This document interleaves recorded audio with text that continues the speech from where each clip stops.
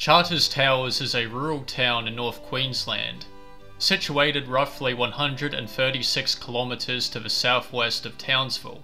Charters Towers was founded in the 1870s upon discovery of gold at Towers Hill, the location where our story takes place. Roughly 100 years later, long after the mining operations ceased on the hill, on a warm night in March 1979, a 19 year old man named Michael Mangan stormed into the local police station in a fit of hysteria. Police noticed that Michael's face was pale with shock. Michael informed the police that he and a group of friends had journeyed up to Tower Hill a 300 foot rise overlooking Charters Towers to search for what he described as ape men. One of his friends had walked away from the group and could not be found. As bizarre as this sounds, Michael told police that there were several of these creatures roaming Towers Hill, and that he had sighted them several times over the past few months. Michael's first sighting occurred when he was parked on Towers Hill in his car with his girlfriend. As they were enjoying each other's company, Michael looked out the passenger's side window to see a black, hairy face staring back at him. Michael reported that the thing was about one meter tall and that its face was, quote, small and drawn back like that of an ape. The incident shocked both Michael and his girlfriend. They screamed upon seeing the creature. Michael subsequently started his car to try and escape the area. The ape man became incensed by this and smashed the passenger's side window of his vehicle with its fist. Michael claimed that he repaired the window himself and that he didn't go public with the story out of fear of ridicule. However, after this incident, one of Michael's friends told him that he had also had a sighting of an ape man on Towers Hill. This prompted Michael to form a posse with his friends in order to search Towers Hill to confirm the existence of the creatures. On the night in question, Michael and three of his friends were gamboling around Towers Hill, searching for the ape men. Michael told police that one of his friends had walked away from the group where they were sitting in order to search for one of the creatures. Michael and his two other friends remained at their rest, and he had heard their friend screaming in the distance, but at the time believed that he was only, quote, mucking about. After some time, Michael and his friends became worried and decided to report the friend as missing to police. The friend was eventually found by the authorities running down Rainbow Road, which leads to the parking spaces at the top of Towers Hill. Michael's friend, who declined a police interview, stated that he had been attacked by an ape man and had fended off the creature with a rock. After the ape man retreated into the darkness, the distressed friend then eloped down Rainbow Road until he was located safe and sound by police. The officer in charge of the police force in Charters Towers at the time this incident occurred, Sergeant Gil Engler identified blood on the man's leg, which was not his own. Apparently, the incident caused quite the stir in the small town.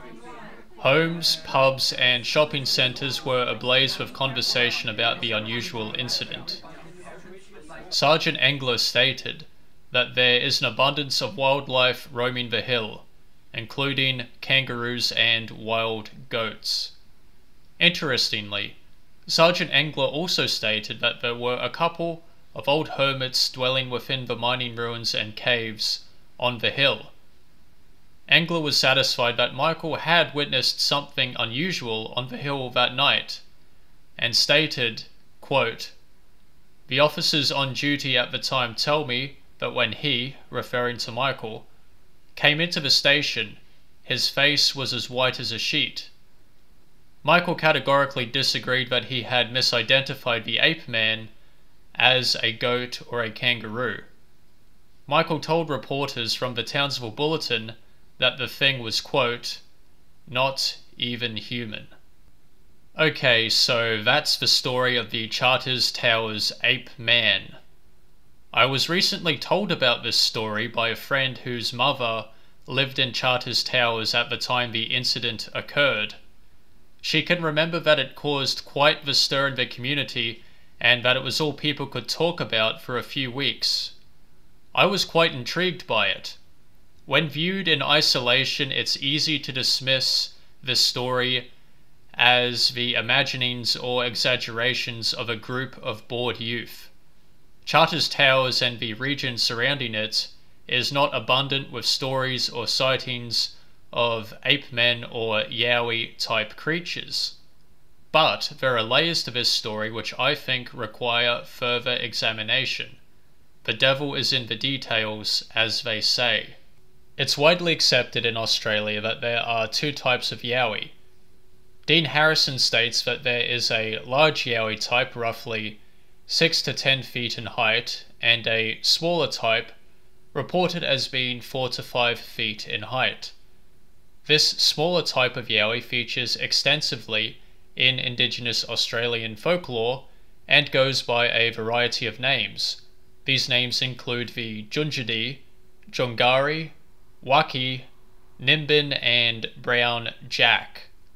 These creatures have been described as small bipedal humanoids measuring roughly 3 to 5 feet in height.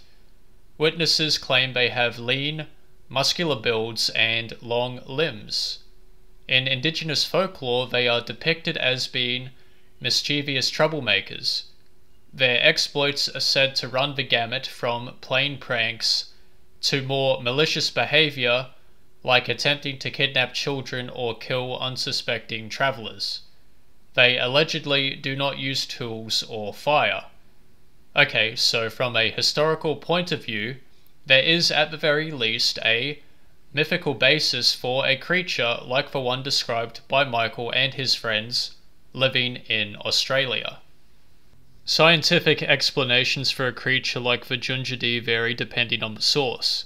Some believe they could be the relatives of Australopithecine or Homo floresiensis, the hobbit humans unearthed in Indonesia.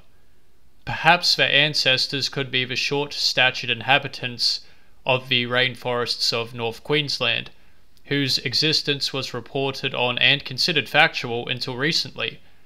Adult males of the Konkanji tribe were reported as being 4 foot 6 inches tall by anthropologists in 1938. In the 1960s, workers clearing scrub to build roads outside of Tully reported seeing one metre tall Aborigines bolt in front of their bulldozers. Either way, the fact remains that sightings have continued of such a small statured ape man both in Australia and abroad.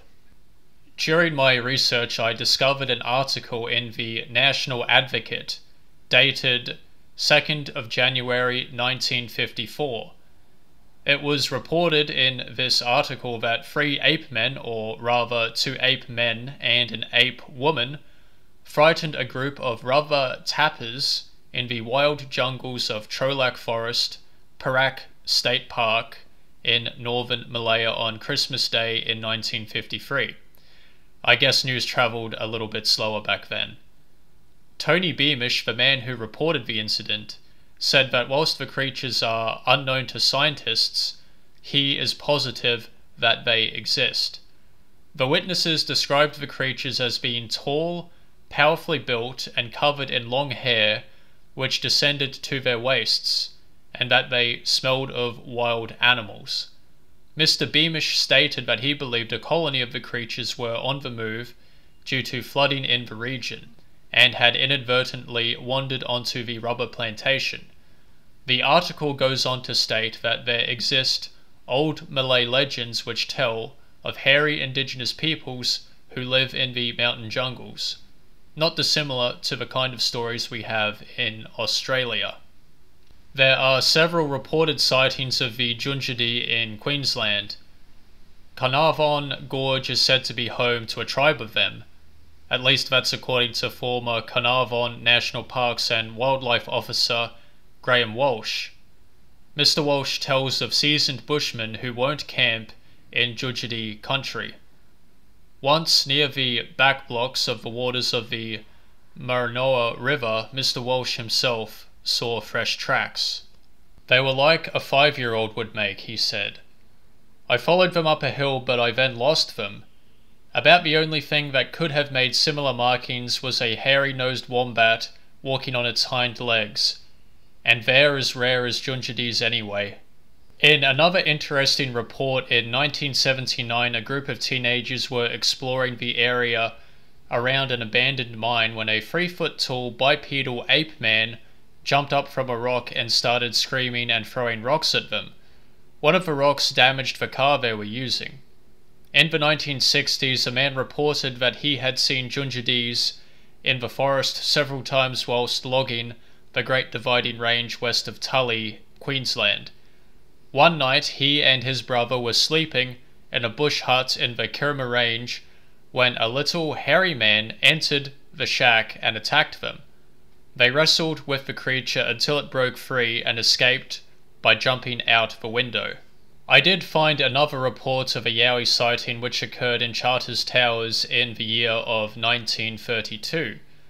The witness in this report, Bert Bagnall, describes the creatures as bunyips. Perhaps the term Yowie had not yet entered the common vernacular at the time. This makes sense considering that the word Bigfoot had not entered the paranormal lexicon until the Jerry Crew trackway incident in 1958. Anyway, Bert claimed that he had six Bunyip sightings. Interestingly, Bert believes that some of the sightings he had were of old gold prospectors who had given up on mining and retreated into the wild to live a life of solitude. Bert stated, I think this one's a hermit who has given up on mining as the gold ran out and he has a fortune stashed away. He keeps showing up every so often when he needs water and supplies such as fruit. Interestingly, this sighting occurred near a gold mining site on Towers Hill. Bert attributes many of his sightings to the theory that he was seeing old miners who were, quote, not interested in being a part of normal life. This raises some questions. It leads me to believe that Bert could identify that the so called bunyips he was seeing were humans, or at least that he thought that they were human. I wonder what he meant by they were hermits not wanting to be a part of society. Did he mean that they were people overgrown with hair, or that they wore some kind of costume to scare people away? Bert does provide additional details on his first bunyip sighting which occurred on Scartwater Station after he had shot a large saltwater crocodile. Bert claimed the creature was 175 centimeters tall, with lots of hair on it, but it took off at a great speed into the bush upon sighting it. Bert claims that it moved too quickly for him to shoot, so I wonder if he could distinguish this sighting from the other ones, which he believed to be hermit miners unless Bert was a messed up man with a penchant for murder. Bert believes that the bunyips predate wallabies and kangaroos, and areas with an abundance of these creatures will allegedly attract them. Bert also believes that bunyips like to hang around gold mines, lending into his disheveled hermit theory. However, perhaps there is another reason why bunyips or yowies enjoy hanging around gold mines. According to David Paulides, author of Tribal Bigfoot, areas which offer open spaces are a draw card for Bigfoot. There are many Bigfoot reports which identify mines as places where the creatures can be sighted. Paulides theorizes that Bigfoot might use mines as landmarks.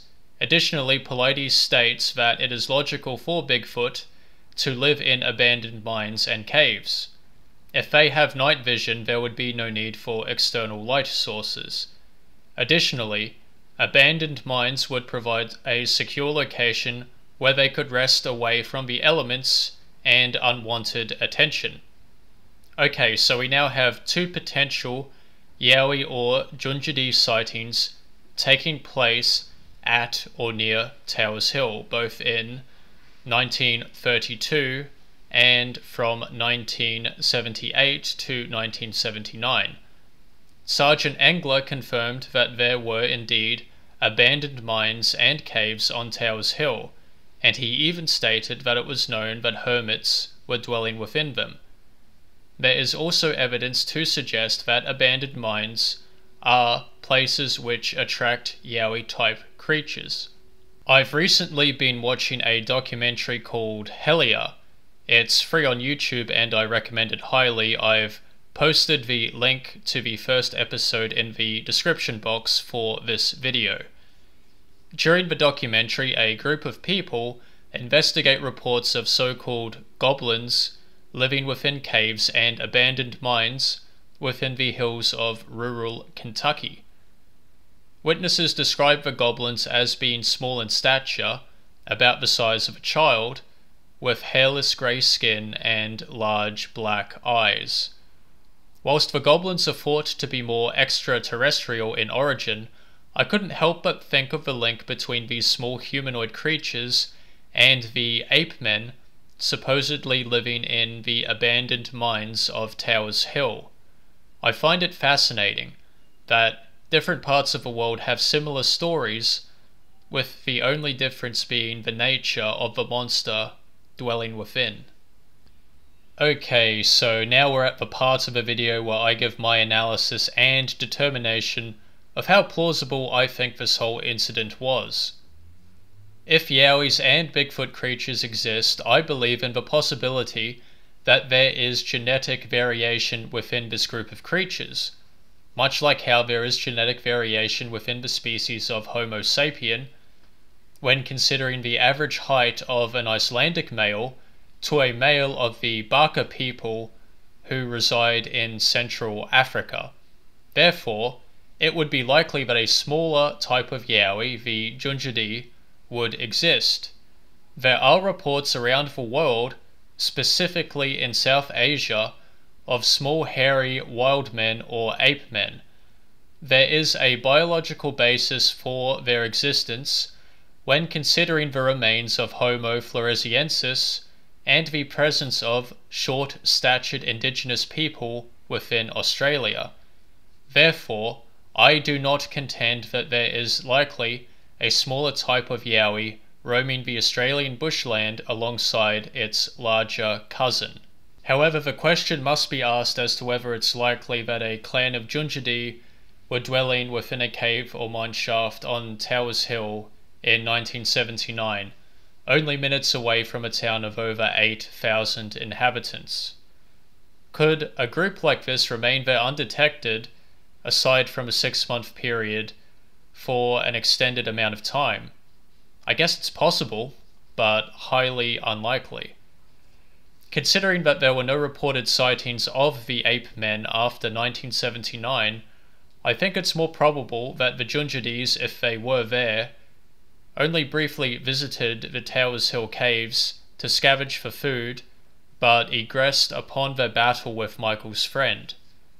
Over in the United States, there are many reports of Bigfoot living near humans, with the creatures sometimes sighted raiding suburban properties to search for sustenance during periods of desperate hunger. Charters Towers was more underdeveloped in 1979, and if hermits were able to sustain themselves on the hill, why couldn't a band of creatures who are adjusted to living off the land? Some other details of this story stood out to me that gave it additional integrity, which I think require some discussion. When Michael had his first sighting, he was sitting in his car with his girlfriend. I think the presence of his girlfriend is a significant detail in this story. Mr. Paulides writes in Tribal Bigfoot at page 90 that there have been many sightings of Bigfoot in proximity with women. Paulides writes that Bigfoot can probably distinguish the difference in smell between a male and female human. Mr. Paulides writes of an incident where a woman in America had multiple Bigfoot sightings while she was menstruating. The Bigfoot would be seen rummaging through her garbage can, apparently searching for used feminine hygiene products. Paulides also writes that it is the habit of some Bigfoot researchers to hang used sanitary napkins on trees as a means of attracting them.